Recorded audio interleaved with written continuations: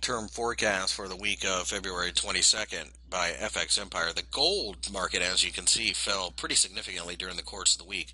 We actually dipped slightly below 1200, but found enough support there to turn things back around and form a hammer.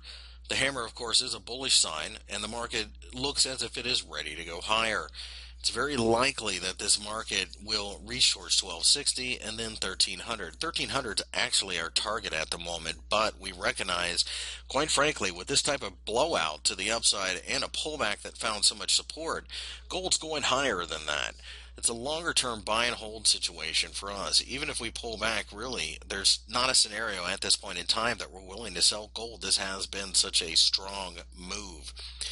The markets, of course, are concerned about several different things, not the least of which is central banks out there trying to devalue their own currency. So money finds where it's treated the best, and at this point, it seems to be gold. So we are very bullish in gold, but recognize that it might be a choppy ride higher.